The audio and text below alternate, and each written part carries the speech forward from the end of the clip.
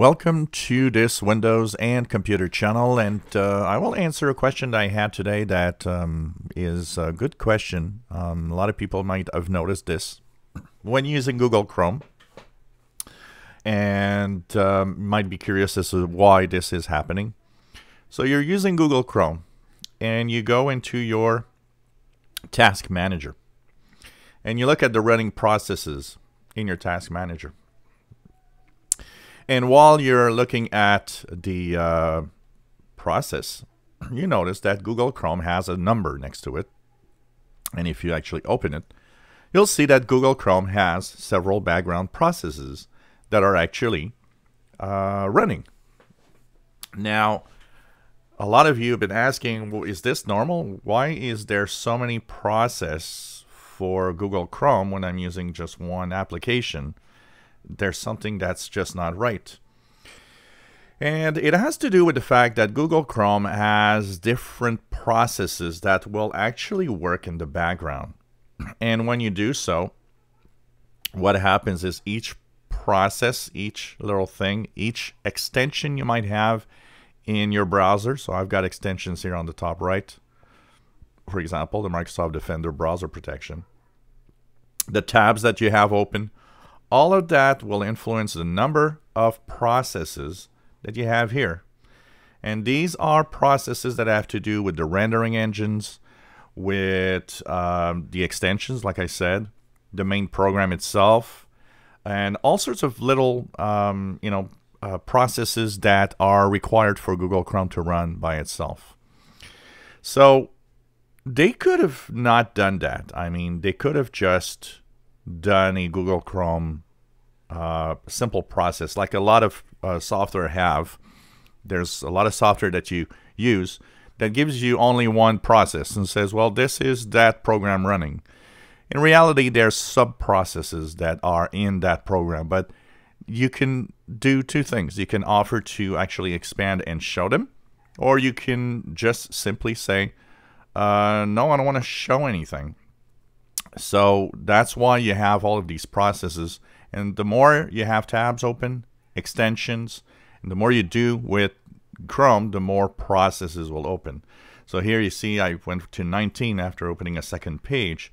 And I can continue on here and say I'm going to open, uh, you know, CNET. And uh, I'm going to go on and I'm going to open um, HF Underground and so different websites that I go to. So these websites require different uh, things to actually show up, and a lot of you know, there's not just a graphics rendering. There's all sorts of little routines and little programs that run in the background to show different options and different uh, skills or different uh, things on the web page that require different technologies to show up. And the more this is open, of course, the more processes you have. We're not 27. What is important to note is not the amount of processes that Chrome is going to actually use, but you want to keep an eye as to the ones that might actually be heavy in usage. So sometimes one of the minor uh, background processes might be actually hogging the CPU or using way too much memory. Once again, that often has to do with the content of a page. So the more a page has graphics and things that move around and animations, and the more it will actually take memory and take some uh, processing power. But that's the way it is, and uh, you won't change that much.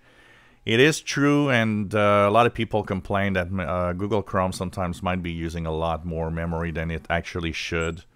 Uh, one of the things we could see here, for example, is if I use Microsoft Edge and I open a new tab and go to a different page, open a new tab, go to a different page, um, and see what's going to happen here if we look at the processes in here, so now you have Edge, you will see that even Edge is using a lot of background processes. It can be separated into its different little applications running the browser. So it's nothing different Um, every browser has a multitude of background processes to run to just display what is on the screen. For the rest is mostly to keep an eye on, especially the CPU usage and maybe the amount of memory. But you know, this is the way that they uh, they work. They do put a lot of stuff in RAM to make it faster.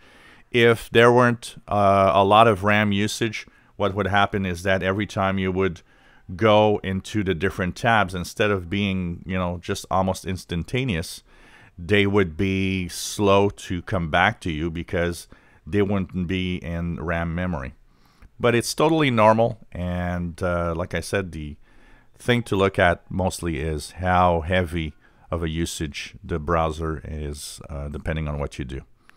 If you enjoy my videos please subscribe give us thumbs up. Thank you for watching